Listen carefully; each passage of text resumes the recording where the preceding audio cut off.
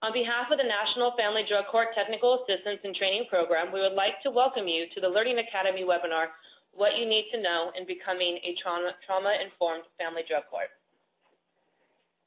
Today you will hear from the Honorable Erica Yew of Santa Clara County Superior Court and Dr. Vivian Brown, founder and retired CEO of Prototypes in Los Angeles.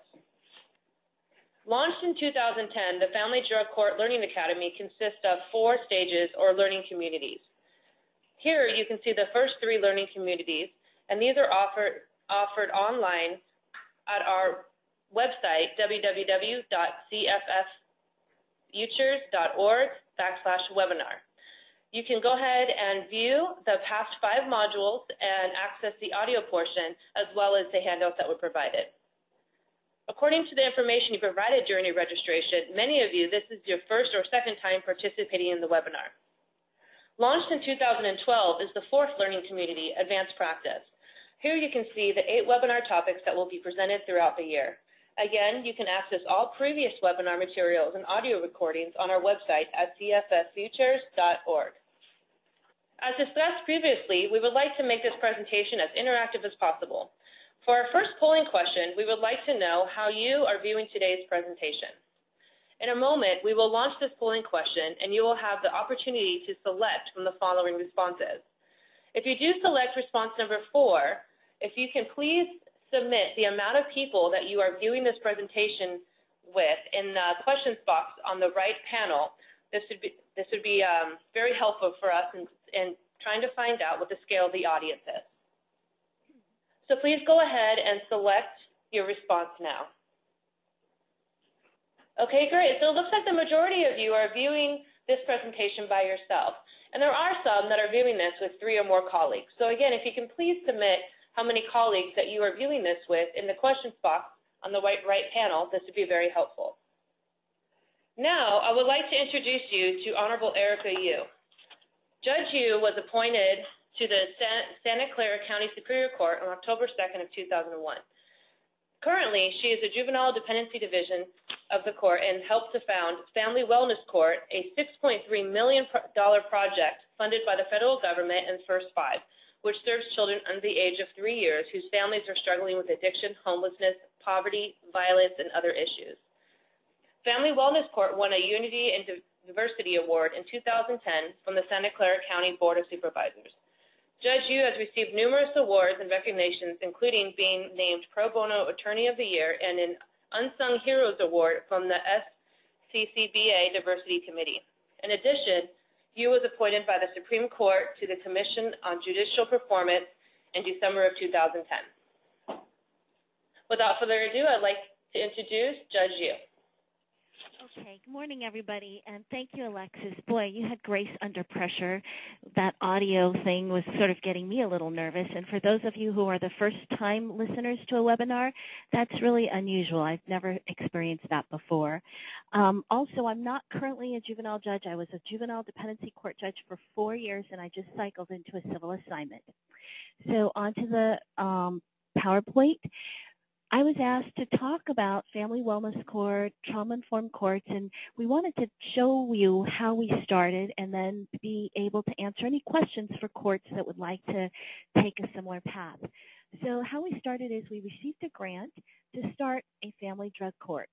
Um, part of our grant was actually to fund education across the board so that the court, our multidisciplinary team members and our agency partners would all receive training. Lori Drabble of San Jose State told us about Vivian Brown and the concept about being trauma-informed. And so we contacted Ms. Brown and you know, she's just done a wonderful job and is continuing to do some training for us in our county. Okay. Uh, being a trauma-informed judge to me really is just being a good judge. Um, you don't even have to know about trauma-informed to be a good judge. So I'm going to start there and then talk about the additional elements that you would want to be mindful of if you choose to be a trauma-informed court. So generally, being a good judge are actually it, encompasses characteristics that are required by the judicial canon of ethics. These characteristics go hand in hand with being respectful, observant, thoughtful, and transparent, and explaining the process including your ruling and the basis for the rulings. Um, I briefly put this slide up for the California Canon of Ethics and the ABA rule of ethics that are implicated by, you know, just being courteous, patient, dignified, and treating people with respect. Next slide. Um, one of the things that I think is extremely important about both being a good judge and also being a trauma-informed court is the concept of transparency. And just backing up a little bit, we know through public trust and confidence surveys that are done, um, that were done in California in 2005 when approximately 3,000 people were um, interviewed when they left court, they were asked what their about their court experience. And what we learned was lawyers just care about the outcome. They just want to win. And uh, the litigants however really care about the process.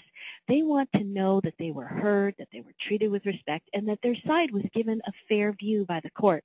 They weren't really as invested in winning as they were in the process. Uh, so transparency eh, we know is important just as a court and then we know from what we learned from Vivian Brown, and she'll talk about this later, why transparency is important to trauma-informed systems. It um, Transparency leads to the users of the court to feel respected and understood and included. And I find that when I'm transparent as a judge, it leads to better judging because the more transparent I am with myself and my thought process, the more clear I am as to why I'm making a decision so I can you know, track whether there's any triggers present for me or any biases. And then it forces me to be able to explain things very clearly to the litigants in front of me. So I already talked about the public trust and confidence survey. So um, again, the conclusion from that survey is having a sense that court decisions are made through a process that is fair and that that is the strongest predictor uh, by far of what people who are in the courtroom feel is fair and their ability to have confidence in the court system. I wanted to also talk a little bit about race and language. For us in California, it's a, it's a huge component of how courts deal with litigants. Um, language and race can lead to feelings of power, powerlessness and exclusion. Um, there's certainly a sense of language and race being a barrier to communication or a barrier to a sense of inclusion in a court. Uh, a 2010 Judicial Council report to our legislature in California indicated that there was a 14% increase in the five-year period from 2004 to 2005 in the need for an interpreter, and 147 languages are spoken regularly in California courts. So in California, we see that in that same five-year period, immigration trends led to significant growth of the population in California. 42% of our growth in California was related to immigration. And 4 in 10 people in California live in a household where a language other than English is spoken. 31% of the public um, served by California courts were born outside of the United States. So language is definitely an issue uh, for our litigants and users of the court and will continue to be as we move forward into the future. I also wanted to talk about the concept of emotional intelligence and then tie all this together into how to be a trauma-informed court. I know um, sort of emotional intelligence is somewhat of a new concept, although it's been written about a lot in the general um, sort of press. And it's really, I think, in this country something that we've heard is very important to people's success. More important than IQ is EQ because EQ is how do you deal with other people? Sort of do you play well with others? And emotional intelligence has been defined as the innate potential to feel, use, communicate, recognize, remember, describe, identify, learn from, manage, understand, and explain emotions. Um, you know, in courts, we're taught that you need to remove emotion from the courtroom.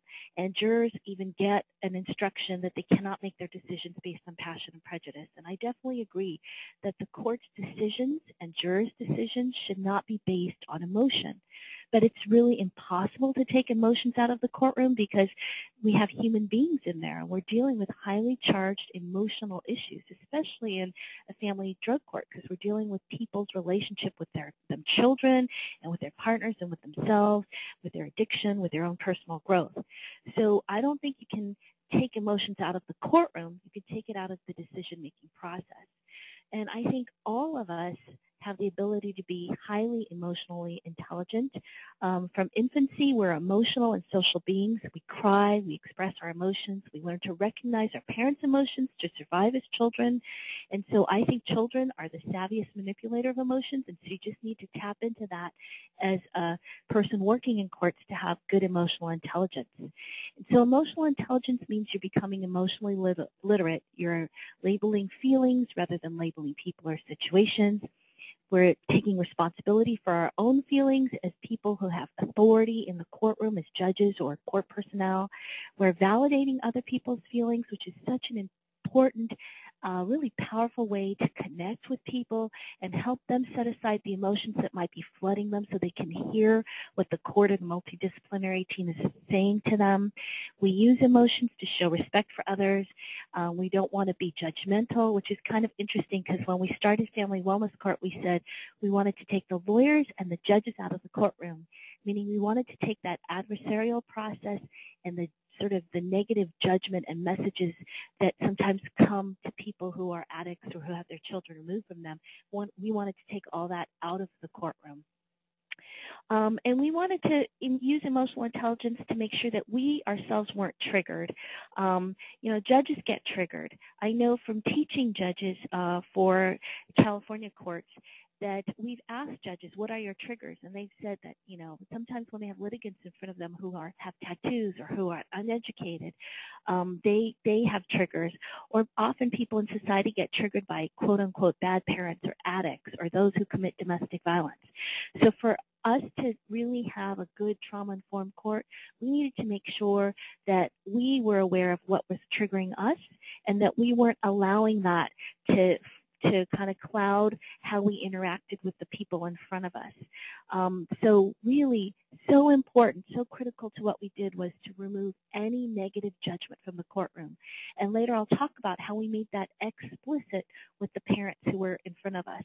And fairness, um, treating everyone the same someone gave me an example where they said, you know, the deputy makes an announcement that no one can text during the court proceeding, and sometimes the deputy even takes away people's smartphones, and yet during the proceeding, the deputy is texting. So, you know, really making sure that everyone on your court team, from your clerk to your deputy to everyone, is ruling, going by the same rules, uh, so people feel that they're treated with respect and that they're all on equal footing.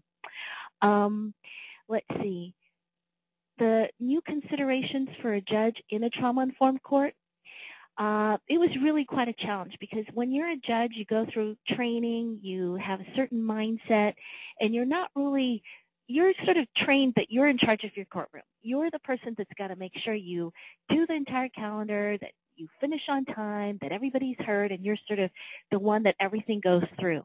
But running a trauma-informed court with a multidisciplinary team is entirely different. And the judge needs to basically take a much more of a backseat and a much less active role. I mean, definitely setting a tone, being a leader, but being a co-leader and a co-facilitator with other members of the multidisciplinary team so that the multidisciplinary team um, basically those members have this equal voice to the judge. The judge is really the team leader, but has to set aside sort of that control and egos, and you kind of have a different you have to have good boundaries, but you have to be able to be flat and not be on top of other people. Um, you also have to be very aware of ex parte communications, and I'll talk a little bit about that more later. Now, one of my favorite quotes, and I shared this with the team uh, when we were doing our training, is that uh, from Lao Tzu, that a leader is best when people barely know that he's, he exists, not so good when people obey and acclaim him, worse when they despise him, fail to honor people, and they fail to honor you. But of a good leader who talks little, when his work is done, his aim fulfilled, they will all say, we did this ourselves. So basically, we didn't even need you, Judge, um, or we didn't even need you, leader. And that's sort of what the beautiful thing was, I think, about Family Wellness Court, that there really was a lot of consensus building and people felt um, entitled and invested in the court. Um, we learned also in preparing this trauma-informed court experience for our litigants that from Vivian that 50 to 60 percent of the outcome really rests upon a positive therapeutic alliance, and only 1 to 2 percent is related to the treatment model or methodology. And that was really radical for me when I was um, hearing this because, you know, you hear about evidence-based practices and all these different models, um, but really that therapeutic alliance is so important, and that comes from having a trauma-informed court and treating people with respect and transparency. 20 years of adult drug court research indicates that the number one incentive for people in their criminal drug court um, experience is their relationship with their judge or their probation officer, which again shows why that therapeutic alliance is so important. Uh, so for considerations for a trauma-informed court, um, one thing that I tried to really strive hard to do in the courtroom is to give an illusion of time. It was sort of like if we were in a play. And in the courtroom, when the litigants were with us, we really tried to take our time. And I would even say, take your time. You know, I don't feel nervous. Tell us what you want to say. But in between hearings, we'd say, hurry up. You know, we have 11 more cases and we only have at one and a half hours. Let's speed it up. So, you know, we would try to create that illusion of time so people would feel that they could sit down in their chair and be comfortable and connect with the team. We would try to reduce waiting um, for people to, before they got in the courtroom. And when we did uh, client surveys, that was definitely something that they told us that was hard for them is the waiting. Um, we tried to make as little noise, a, a sort of ambient noise as possible. So we even tried to control people coming in and out of the courtroom if they didn't need to be there. Um, and we really stressed the concept of honesty, respect, hope, and transparency. Um, and we um, tried to make sure that the, physical courtroom environment was welcoming. So this is what a typical courtroom looks like in Cal in America. You know, there's deputies, it's male, there's big audience section, it's crowded with a lot of audience people sitting there. There's straight tables, there's physical distance between the judge um, and the litigants. Judge is higher, farther away, emotional distance, very impersonal, lot of security-oriented stuff going on, and children are often not um, allowed in the courtroom, and people can't talk unless they're um, supposed to talk. This is what our family wellness courtroom looked like, even to the extent of having a welcome sign on the door and stickers that made it sort of more welcoming for people. I even put my schedule for the month out in the door so all the lawyers and multidisciplinary team members would know when we were in session, where we would be. Um, our bench is lower and the counsel table is more in a horseshoe so that people would feel uh, there's this physical reminder that we're all in this together. Um, we had prints on the wall that children could relate to, um, and you know little stickers on the on the walls there was a bulletin board in the back so that any parent who was successful got their picture with the team and they got to be on the um, board as part of the courtroom team. And we would say, you are going to go on this board and you will serve as an inspiration for other parents coming behind you. Um, and then we had to get to a second board because we had so many successful parents. We had a little place in the courtroom for the children so that they could be occupied and play. And, you know, we would clean up in between, but often the kids would have everything on the floor, and we'd tell the parents, "Don't worry, you know, this is their space too." Um, so we really tried to make this environment physically welcoming. We let the kids move the stickers around. They would take stickers out with them. We had kids' paintings on the wall. Um, so our hearings would occur sometimes for parents daily, weekly, twice a month, once a month, depending on what the parent's progress was. In the beginning, sometimes um, the parent would basically be using and we would have a bus token for them and we'd say you could get a bus token today but go to a meeting today. Come back tomorrow and bring us your meeting slip and you will get another token.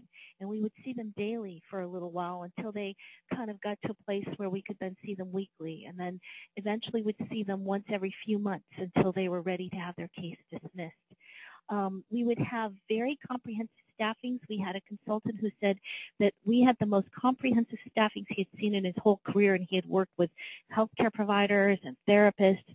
Um, but we would have basically all the various agencies represented through multidisciplinary team members. Before our staffings, we would have an exchange of reports from home visitors, from um, drug rehab counselors. We would share those reports. We had consents that took quite a long time for us to work out um, so that we could share the information. And everybody kind of had a sense of where this parent was and also where the child was because um, our grant not only allowed us to provide screening and services to the parent, but critical to what we wanted to do was we provided um, this for the child as well. And through First Five, which is funded through tobacco taxes in California, every child and family wellness court got approximately $6,000 worth of services free to the parents, and that was screening and assessments. Um, we, we would talk as a team about what incentives we would give and what sanctions we would give and what resource information we would give so that we um, basically had agreement or consensus from the team. Uh, we tried to always use strength-based language. We wanted to have a therapeutic courtroom environment. Um, parents were given positive feedback on their progress and also we talked to them um, and, and gave them sanctions and, and, explained why we were giving them sanctions in the most transparent way that we could. And I'll talk more about that when I talk about um, our orientation. The providers um, would problem solve with the client to help them identify their needs and address how to um, um, redress their needs. We really tried to not tell the parents what to do, but have them be part of the problem solving.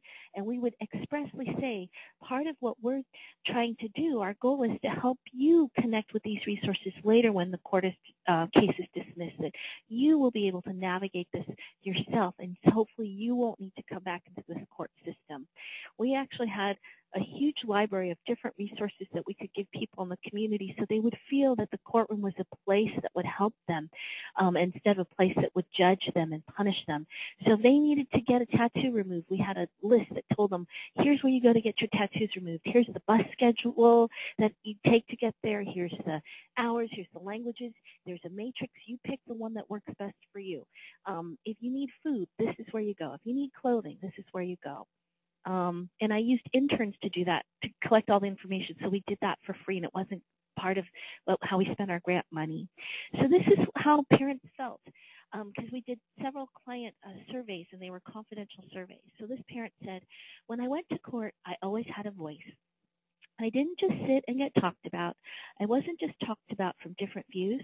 I actually was given a choice. Do you have any concerns? Anything that you need? I was given a chance, so I should speak up and not be overlooked and talked about among everybody. Um, we would tell the parents they were the most important team member, the most important person in the room. So this is about our orientation.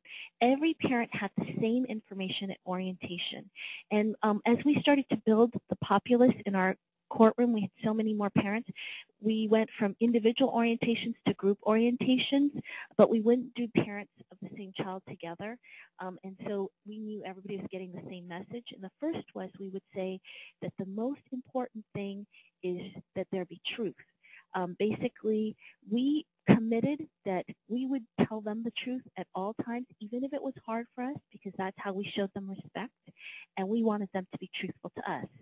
And that statement allowed us to go back when we were sanctioning people or when we believed they were not telling us the truth and they were, you know, using but and they were manipulating test results. We'd say, remember at the orientation, we told you that the most important thing um, about what we're doing here is to be honest because when you're clean, it's, you can be, you know, honest and clear and it's when you're using that you're hiding and not being honest. So we're, we, you know, we're not saying you're using, but we're saying that this test result said blah, blah, blah. And in our effort to show you respect and be as straight with you as we can, we got to tell you that it looks like you're using, it looks like this, and you're putting your relationship with your child in jeopardy because X, Y, and Z.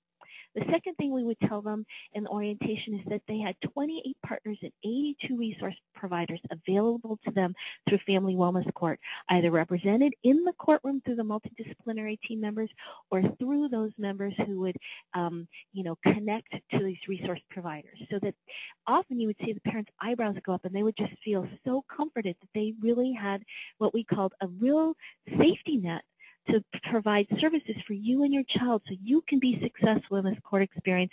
And when you get out of here, you can connect with those resources on your own. um, and we would tell them, tell us what you need.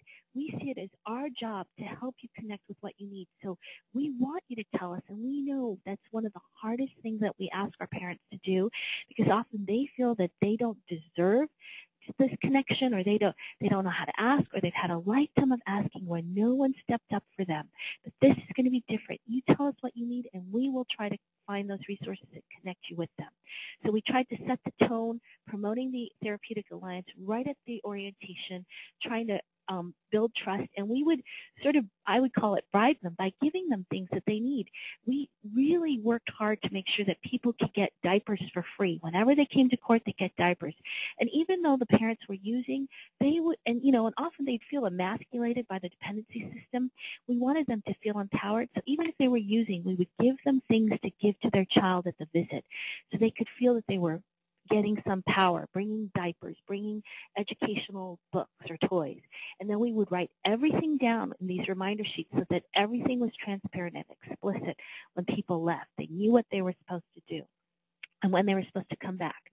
So we opened Family Wellness Court doors March 14, 2008. As of April 2011, um, we found we were providing one to two years of services per family because we were helping them through reunification and family maintenance. We served 290 parents. We had three reentries, mostly because they had housing and mental health issues. Three reentries in three years out of 290 parents. Um, and in California, the reentry rate is actually 11 to 12 percent, so three is a much smaller percent. And we started Family Wellness Court because we saw parents who were having multiple pos-tox births. You know, they're in dependency court, the child's removed, they go out, they have another pos-tox child. I mean, you know, up to eight children previously removed. Um, and in three years, we had one subsequent pos-tox birth. And, and for us, that was really um, a mark of success. So about our reunification rates, in 2009 in our county, we had a 48% reunification rate for all cases, whether the child was a fast-track case, meaning the child was removed at the age of three, where the parent only really has six months initially to try to reunify, or you know 17 and the parent has up to 18 months. In 2010, the reunification rate uh, was 53%, and again, that included the whole population. In September 2010, in our fast-track cases, we had a 75% reunification rate, and that was based on federal audits because of our federal grant. And of the 350 children served, 100%, whether they stayed with the parent or not, were assessed, provided services, um, um, home visitation services, and whatever they needed to catch up because they all our children were tox or drug exposed. In terms of sanctions, we had short-term and long-term um, sort of behavior modification goals. We learned that Sanctions are really good for short-term behavior modification, but incentives work better for long-term behavior modification. In California, we cannot incarcerate parents in dependency court, so we couldn't use flash incarceration, which is what is often used in criminal drug courts. We actually had these self-tests um, that, again, I had an intern do so we didn't have to pay for that, and she had a background in education. We had her research a bunch of issues that the team identified as being important, why sugar's not good for your diet, um, how come smoking's not good when you're pregnant, um, why is why are meetings important? What is the real meaning of recovery? And it was a one-page thing that had graphics, pictures, that was colorful, and on the back there were four self-test questions. And we would have the parent do these self-tests as a sanction on the subject that was related to what was going on for them in their life with their parent mentor so that there was a discussion and there was really some type of learning that came out of it. We would sometimes have them go to additional um, recovery meetings. Sometimes they'd have to write essays about what they did or why they did it. Um, and they, uh, we would sometimes bring them back more frequently. Um, we would express our disapproval or, disappointment in the courtroom as a team, um, but still trying to always be strength-based in our communication and, and be always giving them constant positive regard. Um, we told them that relapses were understood but not excused. Um, we never sanctioned in connection to their visits with the child, and we would talk to them about what the ultimate sanction was, which is their termination of parental rights and loss of the child. Um, and the slide's not moving. Okay, so this is about our incentives. Oops, trying to go back to the other slide. Um, Alexis, can you take over and go back? Sorry, I don't know how to do that yet. Um, okay, thank you. So this is our fishbowl right here. And uh, the fishbowl was filled with different colored slips of paper, and people could either get a white slip of paper which they could save coupons. And if they saved coupons at various different levels, they could redeem them. If they saved eight, they could get something like a digital camera or a digital camcorder or an iPod. And it took a long time for them to get eight because they had to be perfect and do all their meetings test clean and do you know their programs, etc. Or they could take a slip of paper that we had different colors for men or women or you know for families, and they could get a game or a toy or something smaller. Um, we would talk as a team about what they um, get in terms of um, incentives of toys or books. Um, and I mentioned the diapers already. We would connect them to things. So if they were doing well, we could connect them. They could have vouchers and be connected for um, um, housing information or they could be put on a special calendar for criminal cases that they had where they were on probation and they wanted to have their fines converted to community service. We had something called stages and phases where they could earn moving up to other stages and feel good about that accomplishment. Um, at the end, we had completion ceremonies for them where they could have their photograph and go on the bulletin board. Everyone who completed successfully got a solidarity bracelet, and the team and the judge. I wore mine 24/7, and I explained the award all the time in solidarity with every parent who was in this elite group who was able to successfully complete. Um, they wouldn't have to come to court as much, and they got a lot of praise. And the praise was really quite a big incentive for people. Uh, we learned from Stephanie Covington that this population and dependency court are sometimes the poorest of the poor. In terms of our demographics, we had 65% of our people chronic homelessness, 45%, 40 some percent were former foster children, about 90 some percent former incarceration, 100% you know, um, some type of trauma history, 90 some percent crossover, 80, 90 percent crossover with domestic violence. So Stephanie Covington said, you know, these are the most hopeless of the hopeless, and your job as this team is to be um, basically uh, the beacon of hope until people feel that they can be hopeful themselves. And Vivian will talk about and taught us about the importance of being respectful and hope. And what I would say is, to the team is, look, we've got to treat these people with so much respect because they don't feel they deserve it and until they learn that they should respect themselves, we need to be respectful. We want to be transparent. We would bear witness and remind people about how far they come. I'd say, remember that first day you were here? And remember when you said blah, blah, blah? Because I, I could remember, I'd take good notes. And I said, do you remember how that felt? How do you feel now? So that they could really celebrate how far they had come. So we would honor their past and the present path.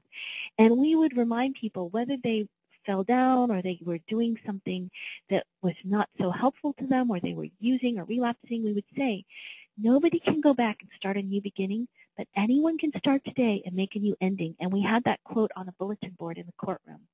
And we would remind them, and at the end they got a card that was signed by the whole team that would say, that would quote Gandhi and say, Happiness is when what you think, what you say, and what you do are in harmony. Because when you're using just, you know, there's just there's too much not being truthful and compartmentalization.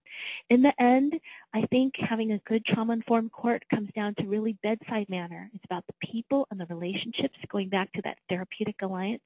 It's so important for the team to be respectful of each other and well-calibrated, and we have to have good connections within the service providers.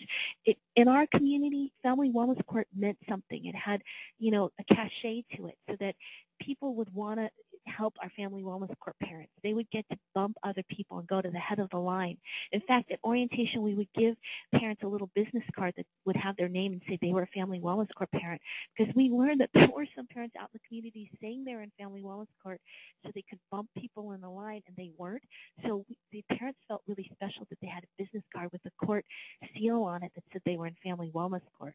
Um, we, as we kind of grew, we found that people wanted to come and be partners with us. So the Office of Women Policy raised enough money so we could buy diapers for the kids for a year. Toys for Tot gave us toys for kids for a year and a year and a half. Students that came to watch us from law schools um, were so impressed with the court that so far every year they've had a Christmas drive for toys for our Family Wellness Court children. We learned that you, we really want to reparent parents who themselves um, didn't have great parenting experiences as children. Non-judgment was so key. And also motivational interviewing, meeting the parent where they were and trying to motivate them to kind of move forward. And then really the love in the room. And that came about because parents would say, I love you, Judge. And, you know, as a judge, you can't really say I love you back. And team members, we were all feeling kind of not sure what to do. So then I said, well, there's so much love for you in the room. Can you feel the love from the room? And they really responded to that. And parents have quoted that when they speak in public. Successful parents talk about family wellness. They'll say, I remember when the judge would talk about the love in the room. Because that's really that unconditional positive regard, reparenting the parent and helping expand their capacity to love themselves and love their child. But not doing it in a way that's sort of willy-nilly, you know, not holding them accountable because parents who love their children are firm and hold their kids accountable. Um, and we would talk to parents and say, Family Wellness Court, it's not good enough to not use. We're not about abstinence. We're about healing. And we saw that this healing would spread to basically beyond the parent-child relationship. But parents would come in and say, God, I can't believe it. For the first time ever, my brother's talking to me, and it's so neat that I can show him not I'm not using. He hasn't talked to me in five years. So, you know, the healing really went beyond what was happening in the courtroom. So here are some good quotes about love and why love is important that you can come back to because I think I'm running out of time. Um, um, but Anne Louise Wagner was one of our therapists dedicated to family wellness court parents, and she said, if we do not love our clients, we re-wound them. So love was really central to not just what was happening in the courtroom, but our partners as well and what they were doing to support the parents in tandem with what's going on in the courtroom. And why I think you know, drug treatment courts or problem-solving courts or therapeutic courts work is because people really do want to do better. They don't know how, and I think the human spirit is strong. And if they they can, they're so smart. They can tell if you're just brushing them off and if you're not having an authentic relationship with them. But genuine, constant, positive regard really penetrates through people's pain and builds trust. It sounds sort of Pollyanna-ish or maybe sort of, I don't know, sloganish, but I actually saw it happen in our 75% success rate and one talk subsequent birth in three years really shows the difference. Um, and I always said, don't discount the power of bribery or incentives. Um, in fact, Nelson Mandela said, we want to surprise them with our restraint and generosity because the court sits in such a powerful relationship with the parents. They do not expect that incentive. They don't expect to be treated with love in the room from their previous experience. And so when you do that, it really goes through, penetrates people's sort of shields. And in the end, people love their children, and so if they feel that you can help them connect with their child, they're going to respond to that. So, um, sorry, there was a qu another quote from a parent about why Family Wellness Court worked for them. And we had an attendee question about flash incarceration, and that means putting someone in custody overnight. So in criminal court, you know, if someone came in with a dirty test, you could say, okay, you're being remanded now. I'll let you out tomorrow, but you're going in because you used. In dependency court, we couldn't incarcerate, so we couldn't have flash incarceration or short-term incarceration as a tool. And so what this parent said about love in the courtroom and why it works is what was beneficial for me was the encouragement they gave they give you. They give you so much encouragement and acknowledge every good thing you do. I got teary-eyed every time they would acknowledge me for all the good that I've done, you know, the hard work. I overcame the hard stuff in my life. Now it's getting easier and easier. They acknowledge every single thing you do, and that's what makes me want to go on more. It encouraged me to do good things because I'm getting acknowledged by these people in the court.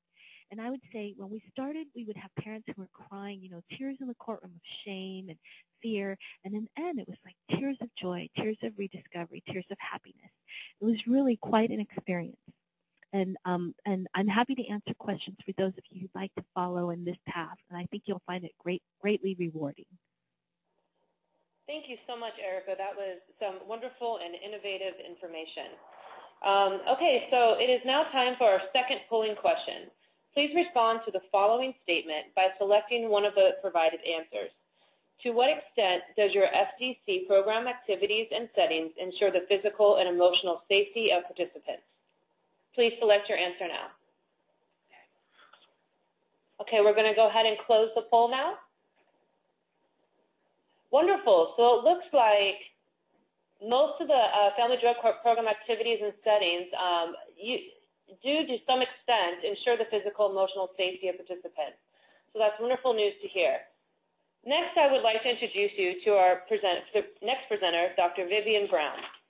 Dr. Brown is founder and former CEO of Prototype, Centers for Innovation in Health, Mental Health, and Social Services, a multi-facility, multi-service nonprofit agency with services located throughout Southern California. She has more than 40 years experience developing innovative community-based services and has conducted numerous treatment outcome research and evaluation studies, including the Women Co-occurring Disorders and Violence Study. Thank you, Dr. Brown, for being with us today. Thank you. It's a pleasure to be with all of you today. I'm going to try to advance the what I want what I want to discuss with you today is the importance of the trauma-informed services in family drug court and what is trauma-informed services and also discuss trauma-informed systems assessment to help transform the system family drug court and then what's needed for that transformation start with the high prevalence of trauma uh, and substance abuse and mental health disorders in family drug court populations.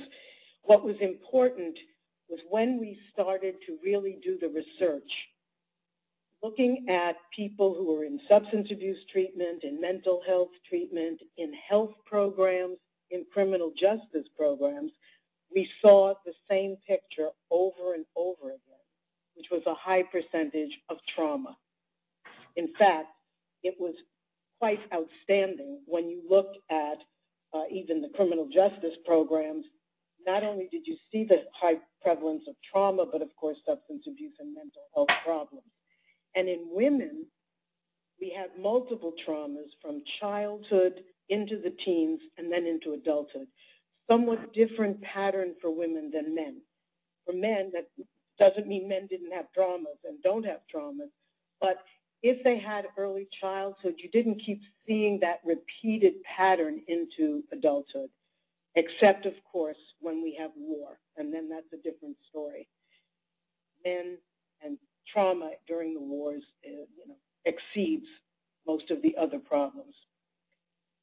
We also saw that not only do we have high prevalence uh, of trauma, but in many cases, it was unidentified and not part of a treatment plan if the person was in substance abuse treatment or mental health treatment or even in health programs.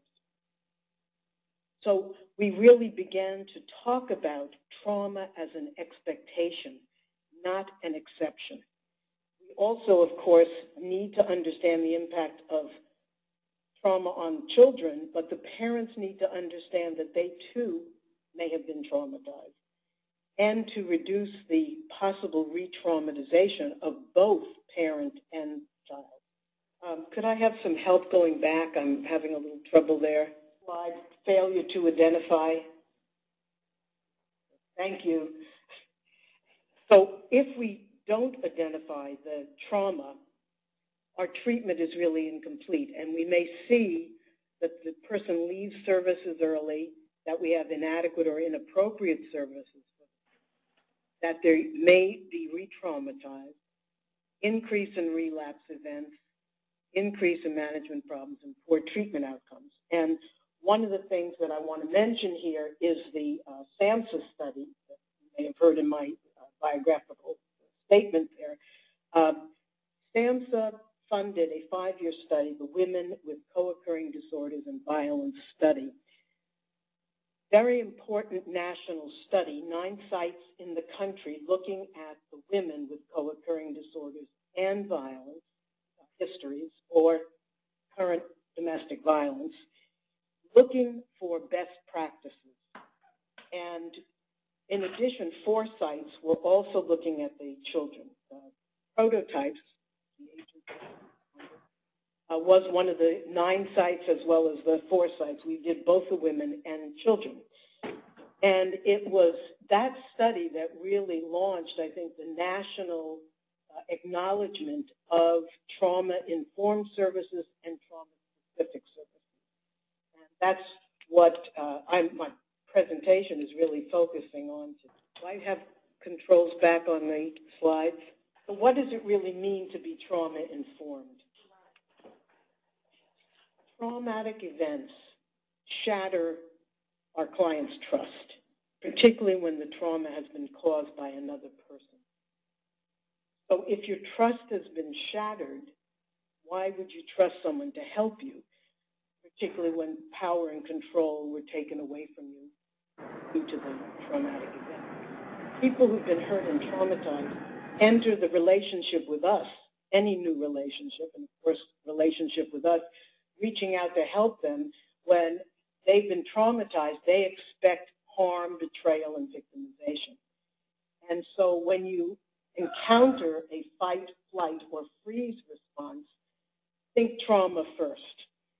And by that, I'm really saying that if you come into a, a session with someone and they are angry, think trauma first. If they're ready to leave and say they do, really don't belong there, think trauma first. And of course, you see more freezing response uh, when we're talking about children because children often cannot fight or flee, and they may have the frozen response to the trauma. Again, think trauma first. And it's really the trauma lens that I'm talking about, and you'll hear me say that a number of times today. Uh, our first job is really to help the client gain a sense of safety so that they feel, begin to feel more trust in us. And again, I'm sure you understand that if you've been traumatized, you have a special sensitivity to feeling controlled, humiliated, or criticized by authority figures. And of course, you heard Judge Yew talking about her, just watching Judge Yew is probably one of the most trauma-informed experiences you can have. Um, she does everything to ensure that the person sitting in front of her does not feel controlled, humiliated, or criticized by an authority figure. So that hyper-vigilant attention trauma survivor has, they are watching, they are listening, our tone of voice, our body language, our pace of speech, our facial expressions, every piece they are watching and listening to so that they can stay, stay as safe as possible with us. And they, again, with the fight responses, they may have to attack us before we attack them. Trauma severs connections, and so it's our attachment, our relationship with the person that hopefully that will, that will help them gain back a sense of safety and to be able to regulate their arousal because that hypersensitivity and hypervigilant stance keeps them from really uh, relaxing and being able to uh, soothe themselves. So what we're really trying to do with the family drug court, uh, clients, is to focus on safety. And that becomes our first and primary uh, reason for the trauma-informed court. We're trying to gain, help the clients gain control over overwhelming symptoms because when you are triggered because of some trauma memory, you are overwhelmed. The past becomes present and it's alive right there. And the client can no longer think or regulate their emotions. We want to help them remove themselves from dangerous situations possible to eliminate self-harm and to attain healthy self-care for themselves and their children. And I think you know, Judge Yew and, and you know, I want to repeat the idea that if we can help the parent their trauma, we then help the child and prevent future trauma. So I like to talk about the four S's for safety, which is that safety means modifying the environment to reduce stimuli and induce calming. And you could see from the slides the way uh, Judge Yew and the Family Drug Court in Santa Clara even helped change the environment, the court environment. Support, the second S, involves listening and talking in supportive ways. I want to say here that this is not enabling. This is not uh, trying to uh, reinforce codependency. This is understanding that our clients have been traumatized. And if you've been traumatized, you need someone who can stay calm, listen to you, and talk and support.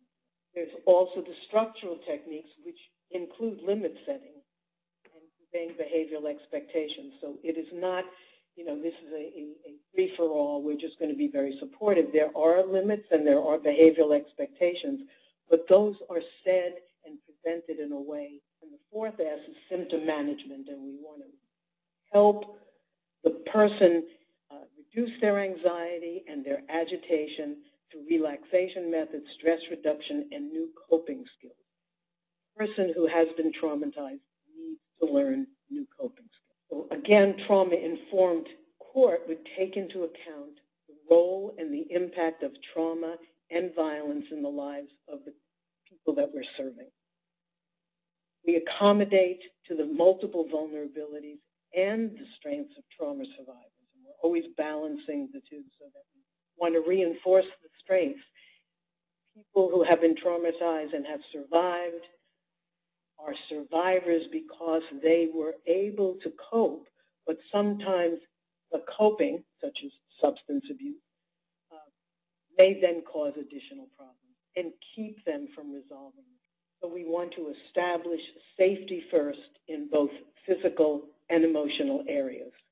Services are delivered in a way that avoids triggering trauma memories or causing unintentional re-traumatization. That, to me, is extremely important, and, and we want to make sure that what we are doing with the client is not re-triggering or triggering the trauma memories. And again, we are all working very hard. We are trying to do our best. And unintentionally, we may be triggering because we don't always know what the trigger might be for this certain individual. But trauma-informed means that we change the way we view the people we serve, the way we view our services, the way we deliver our services. We look through the trauma lens at all times. And we want to understand that this person most likely has been traumatized and that we can do something about it. And we want to support client control and choice whenever possible. Let me just give an example about some of the unintentional uh, issues. Uh, we, emergency rooms. So we can look at something a little distant from the family drug court. In emergency rooms, we realized that when women went into the emergency room with broken limbs and bashed heads, no one asked them about domestic. They kept returning over and over again then to the emergency room with more and more broken limbs and more and more brain damage. So we want to be able to identify the trauma and we want to make sure that we're not re-traumatized. Part of the way we look at the person is what happened to you not what's wrong with you or what's your problem. And that is that paradigm shift toward the trauma-informed. I want to also then talk about the difference between trauma-informed and trauma-specific. Trauma-specific services are those services designed specifically to address the trauma, violence, and related symptoms. So Many of these are groups with a with a structured curriculum. And I'm going to share some of those with you in the next slide. But the groups that I'm going to be sharing with you are all what we call stage one interventions.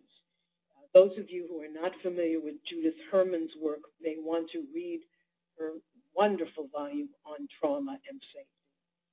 Uh, she really did an outstanding job and talked about the three stages of trauma work. Stage one is safety and stabilization. In stage one, we do not open the trauma story. We do not go into depth about the trauma. We work with safety and stabilization. Stage two takes us into the trauma story, but we are staying on stage one in the family drug court. In individual treatment, you will move into stage two and deal with the trauma story, and stage three then is that whole reconnection. So let me share with you, and again, uh, uh, the goals of the, the, services, of course, are to have the sense of safe, safety, sense of control, and increase coping skills. Let me share some of the evidence-based practices for trauma-specific interventions. Seeking Safety uh, by Lisa Najavits, Trauma Recovery and Empowerment, uh, known as TREM, by Maxine Harris and Community Connections, Target AR, which is Trauma Adaptive Recovery Group, and that is by Ford and colleagues. These are evidence-based practices that you would use for adults. And next slide, we have evidence-based practices that are trauma-specific for children. And that's trauma-focused cognitive behavioral therapy, parent-child interaction therapy, etc. These have been studied and show uh, excellent results. I want to mention EMDR. Uh, it is a technique that has been moved into evidence-based. Uh, it's rapid eye movement it's been used individually. It's not a group uh, curriculum, and it's it is an intervention that I have been trained in. I believe it is very powerful, but it is not stage one. It's going to take you stage one and stage two. So the ones I'm presenting here are the stage one uh, evidence-based practice. Now I want to talk a bit about the trauma agency or system assessment because you've heard me talking about ensuring that we're trauma informed and not re-traumatizing survivors. Uh, in 2004, Maxine Harris and Roger Fallot developed an agency self-assessment, and it looked at these five core elements, safety, trustworthiness, collaboration, choice, and empowerment. Uh, let me just say the trustworthiness is on the level of, um, Judge Yew talking about some of these ways of being trustworthy, is to share and be transparent and let the person know what to expect and orient them. And the collaboration is the collaboration between the helper and the survivor. Now, I uh, adapted this assessment. By the way, Maxine Harris and Roger Fallot are colleagues of mine. We've worked together on the uh, SAMHSA study, and we've continued to work together. I adapted the assessment into a system agency walkthrough that allows people to walk through their system or agency through the eyes of the client. Uh, those of you who may know NIATx, the Improvement for Addiction Treatment uh, Initiative. They introduced walkthroughs to many of the substance abuse programs. And this assessment is really designed to look at each step from the first contact with the court to referrals for treatment and other options to identify triggers and develop an action plan that includes several possible solutions for each potential trigger. The constant question that I raised is could this procedure or step or practice upset or trigger a client? Again, unintentionally, but could it upset or trigger a client? This assessment was designed as the walkthrough, not as a judgment, because when it was originally designed by Maxine and Roger, um, they really looked at it as a pre and post sort of measure where you do this assessment and then you do your work in between and then you look at it again. I wanted to take the judgment piece out and really use it almost as an intervention for teams and, and staff to gather the information together looking through the trauma lens with a focus on are we re-traumatizing with any of our practices?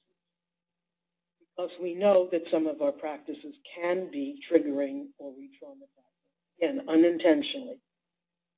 And then the trainings and technical assistance grew out of the action plan that we developed. And I have to say this was a wonderful um, experience because we had quite a few people walking through the family drug court and Judge Yew invited me in to observe the court to begin with and then we spent a number of weeks, four to five weeks, with the major team members looking and walking through the processes.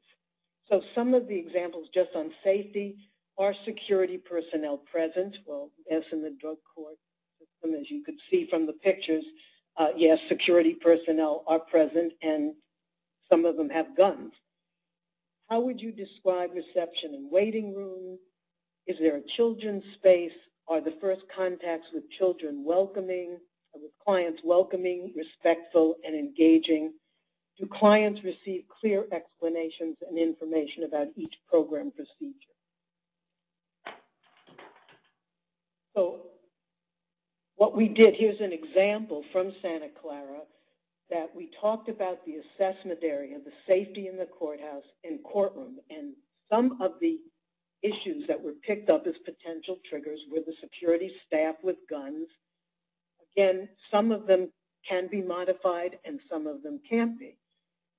Crowded waiting rooms, children upset, lack of privacy, conversations, and the batterer may be present. These were some of the potential triggers.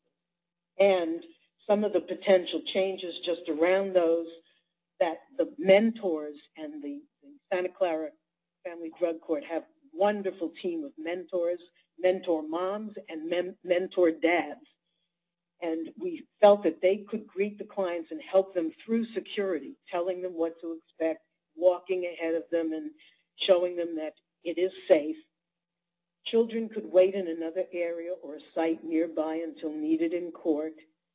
A social worker or a domestic violence specialist who attend the court hearings can sit with the clients and discuss procedures with them. These were just some of the potential changes that could have been made. And the more potential changes suggested, the better. So here are some of the steps that we took uh, in the Santa Clara Family Drug Court process. There was an initial conference on trauma with a plenary that I did and workshops, and then meeting with the key partners. Have, as you could tell from Judge Yew's presentation, fabulous partners, and a design of an action plan. And the question that kept coming up, what does trauma-informed look like? Which is, I think, a very important question, which is why I'm really sharing with you what it should look like what Judge Yew shared with you. The observation of the court to assess whether there were triggers, design of the trauma assessment walkthrough, and then the walkthrough with the key partners, and then the formulation of the plan. So we had the issues, potential triggers, possible solutions. And there was an open invitation to the partners to use me to implement any of the trauma assessments or anything else that fit better. Many people uh, did call me. We had a number of trauma assessments. We also had other kinds of trauma discussions because uh, for the, a group of attorneys, they did not have an agency or a system to walk through, but they had some issues that they wanted to discuss. Um, trauma training of court staff grew out of the action plan, and the training went very well. The trauma trainings for agency staff, we had a number of agency staff that wanted uh, basic trauma 101. I did that. We had uh, a number of people asked for men and trauma because so much of the focus had been on women. We did training on that. We also developed, we were asked to develop trauma-informed children's activities, did that. And then we trained the child providers in Santa Clara on the trauma-informed children activities. The development of a trauma-informed parenting module was asked. We did that and then trained the parent training coordinators on the trauma-informed parenting module. And I designed that so that it could be a very small three-session parenting uh, module that could either be inserted into other parenting uh, trainings that were going on or that it stood by itself as a trauma-informed parenting module. And then there were ongoing consultations and technical assistance. And, of course, people could access the evidence-based practices. Um, seeking safety is being used in, in uh, Santa Clara in the substance abuse programs and trauma-focused cognitive behavioral therapy is being used uh, for the children in mental health. So to summarize what's needed for transformation is really commitments from all the collaborative partners to engage over a long enough period of time, multi-level training for providers and partner staff, continuous system assessment and modification, trauma-specific services available in a number of partner sites, internal and or external consultants knowledgeable of trauma-informed systems and trauma-specific interventions. Um, I think that's really important. I want to say something about uh, the internal. What we really recommend is that for every agency to have a trauma champion. That is a person who would sort of be the overseer of trauma-specific and trauma-informed services and systems, and that they keep up to date um, on all the research and all the work and all the evidence-based practices that are being developed and modified. So that trauma champion uh, becomes the agency trauma expert. And when you have a collaboration, such as the Family Drug Court in Santa Clara with numerous partners, you can imagine that if every agency had a trauma champion, then if some there's turnover, and all of us know that there's turnover in our agencies, people are moving on, there are cuts, etc., reality sets in that you have enough trauma champions within the system that people can then pick up some of the training of new staff uh, happen because we want to keep the staff up to date on trauma-informed and trauma. So I, I really see the Family Drug Court as a laboratory for change. It's an excellent place to bring this large group of providers and court personnel together and really make important changes lead us to a trauma-informed and trauma-sensitive system. Thank you. Oh, before I close, let me just tell you about the resources that um, are provided here. Um, the first is Roger Fallot and Maxine Harris. Their original self-assessment and planning protocol is up on the internet. Uh, we are now just finishing a paper for publication together, uh, myself and Maxine and Roger, on the trauma assessment I'm talking about with you today, about the walk through, uh, and hopefully that will be published and we'll get that uh, up to you as soon as we know it's press. SAMHSA's National Center for Trauma-Informed Care was developed after the Women with Co-Occurring Disorders and Violence Study. And the National Trauma Consortium is the group of nine sites that did the study, and we banded together to form the National Trauma Consortium, and we have written uh, over 70 papers that are published. They're up on the site, as well as a children's curriculum from the four sites that did the children's uh, project.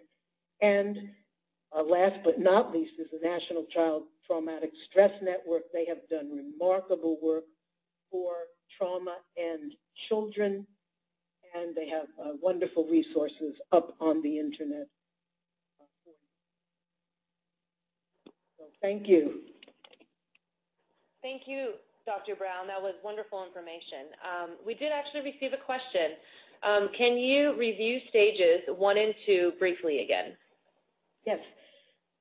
Stage one is safety and stabilization. And that really means, again, that you're focused on building trust, making sure the person is safe both physically and psychologically, and beginning to learn new coping to stabilize themselves and be able to handle some of the uh, situations that may trigger them.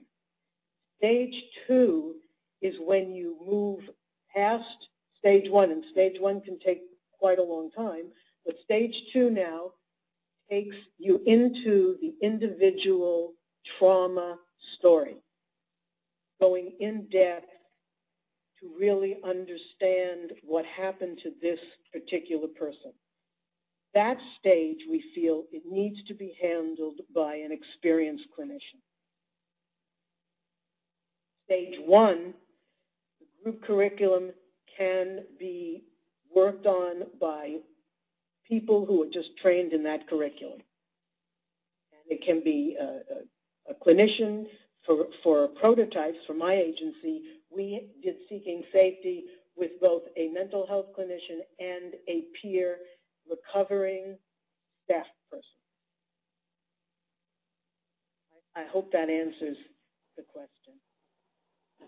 Yes, great, great, Dr. Vivian. Thank you so much for spending a little more time clarifying that. Um, we'd like to go ahead and launch our last polling question.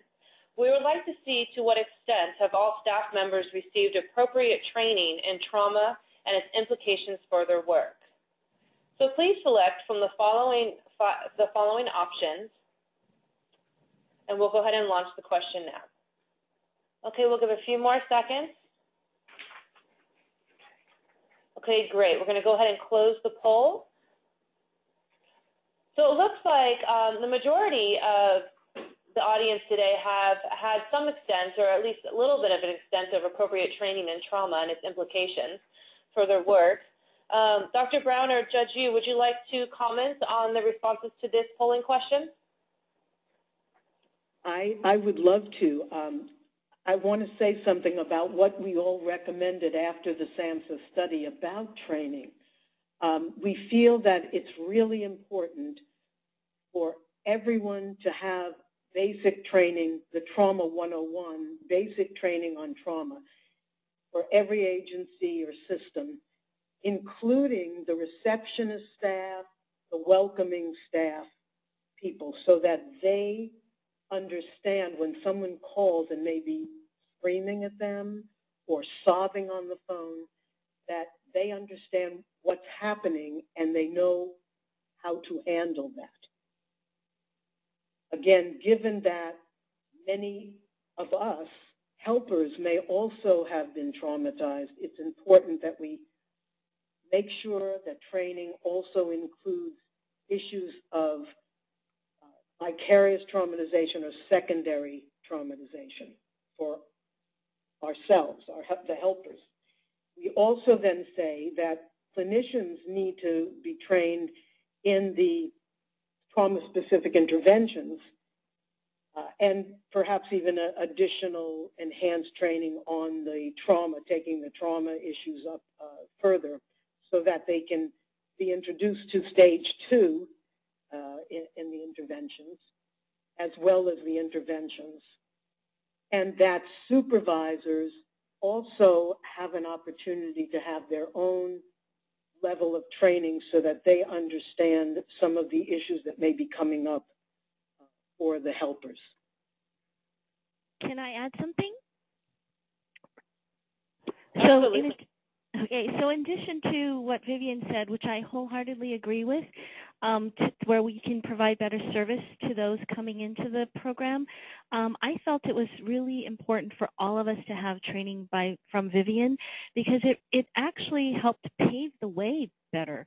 Because once everybody sort of was on the same page and understood why we were doing it and why it was so important to do it, it, it um, allowed us to address some of the people who didn't understand or who were maybe naysayers in the beginning. Because you know there were people who said oh you're just an enabling court this is just enabling or you're just going to be too nice. You're not going to be able to be successful. And to have that training as a base level of knowledge allowed us to go deeper faster and allowed the path to be more smooth. So I think on multiple levels having this broad-based training is, is very important. Great, thank you for sharing that. Okay, so at this time, we would like to go over some of the questions from the audience. As a reminder, you can submit your questions using the panel box on the right side of your screen. We'll go ahead and give it a few seconds to see if any questions roll in at this time. Okay, great. So it looks like we received a question from the audience. Um, and the question is about having difficulty being trauma sensitive and also setting up accountability. So confronting clients in a trauma sensitive therapeutic manner and um, how, what's the best method for doing that?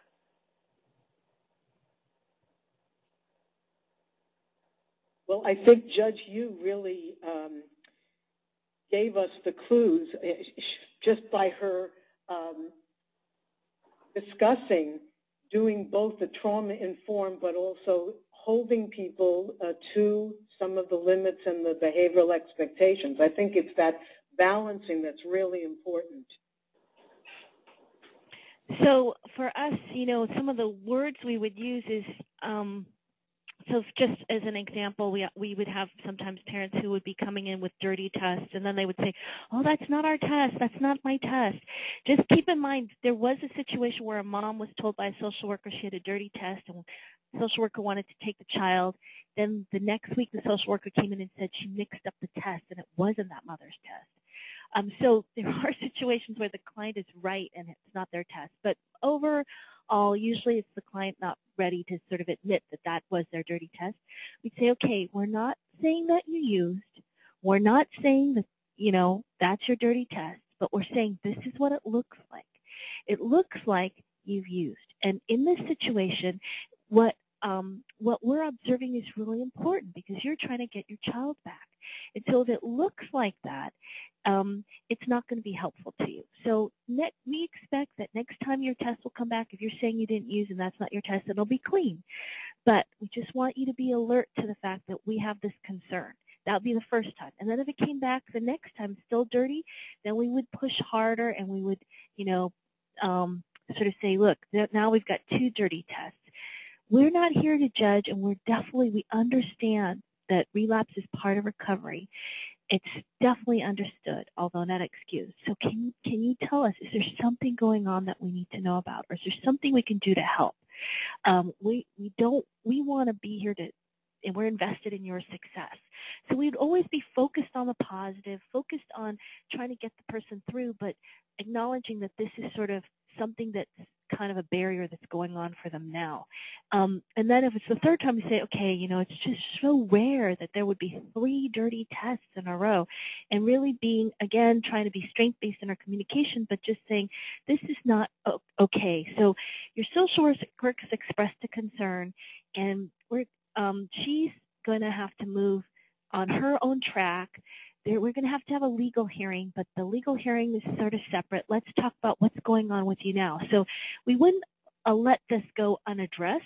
There would be legal hearings, maybe to modify the visitation to supervised visitation or whatever, but basically trying to address it in the drug treatment setting in a therapeutic way. And, and you know, these things are so organic. And once these things started to be addressed with the parents, so often they would really start to break down and cry because they felt that safety that they could say, yes, I did use, and we would find out what was going on. Plus, we were getting all these reports, so we knew sometimes before they did what was going on with them because they, you know, they weren't used to sort of being that self-conscious.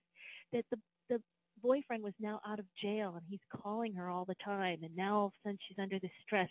We knew what was coming down the pike before she did. So we could sometimes say, so how are things going with whatever his name is? And then that would open the door. We would know, but she didn't know necessarily that we would know because we would want her to be able to say it herself and come to that realization herself. So just using all the information but always being very respectful allowed us to be firm, not lose point of the message and the point of why the person was in the courtroom, but still be kind and um, respectful and transparent. Great, thank you for that. Um, another question that we just received from the audience is, is there recommended trauma screening tools for the parents that are involved in the family drug court? Uh, I, I, will definitely take that one. Um, there are a number of tools. In fact, I sent uh, some over to um, CFF for just in case people needed uh, some list of screening tools as well as the um, evidence-based practice for trauma-specific interventions. There are a number um, impact of event scale, affectionately IES-R, uh, the impact of event scale is a 22-item measure uh, for adults, and it assesses distress caused by traumatic events. And then there's an impact of event scale 8 for children and adolescents, and that's IES-8. Um, so the, that looks at, again, uh, distress caused by traumatic events, but for the children and adolescents. There is a, a PTSD, post-traumatic stress disorder checklist, affectionately PCL. Uh, there's a civilian uh, test, and there's a military uh, measure. It's a 17-item measure, and that's looking at symptoms uh, of trauma like re-experiencing, avoidance, disassociation, and hyperarousal. There is the life stressor checklist, um, LSC-R. It's been revised, and that looks at 30 life events. There's a post-traumatic stress diagnostic scale. That's a 49-item uh, instrument. There's a clinician-administered PTSD scale, the CAPS, CAPS. That's a 30-item structured interview. This would have to be someone who is an experienced clinician trying to make a diagnosis of post-traumatic stress disorder. And there's a trauma symptom checklist 40, TSC 40, uh, as you can see, a 40-item measure. Now, there are differences even in the screens. Screening uh, differences are some are looking at has the person experienced any trauma? Some are, if you've experienced a trauma, how did it distress you? And some are looking to diagnose post-traumatic stress disorder. So I just want to say trauma is the broadest issue. In order to have a diagnosis of post-traumatic stress disorder, it's, it's a it diagnosis. And about one-third of people who've been traumatized make it to a diagnosis of post-traumatic stress disorder. We, we think that it is very important to know whether the person's been traumatized, period. And that would just mean looking at some of these screeners for has the person experienced a traumatic life event. Thank you so much, Dr. Brown. And we will go ahead and post all those screening and assessment tools that you discussed on our FDC blog um, directly following the end of this webinar. Oh, perfect. Um, great. I'll, yeah, we'll also yeah we'll provide the links to all those tools as well, and then the FDC blog link will be provided in, in um, a few moments here. Um, in addition, we'll also post any other questions that we received that we were unable to address during this during this presentation and their responses from the presenters. So thank you very much, Dr. Brown and, and Judge Yew, for, for answering those questions. Here is a reminder of the upcoming webinars for 2012 and how to access previous webinars and their materials at the link provided at the bottom of this screen. The next webinar is scheduled for Wednesday, May 9th from 10 to 12 Pacific Standard Time, and it will provide information and discussion on the role of judicial leadership and ethical considerations. This webinar registration is opened and live at this time, and we hope to see you all there. Applications are now being accepted to become a peer learning court. For more information about the application process and requirements to becoming a peer learning court, please visit the link provided on this slide. The Substance Abuse and Mental Health Service Administration, in collaboration with the Office of Juvenile Justice Delinquency Prevention, is hosting a national symposium for family drug court professionals. The purpose of the symposium is to engage a wide range of, of FDC professionals in discussion of FDC practices, research, and policy. For more information, please visit the website provided.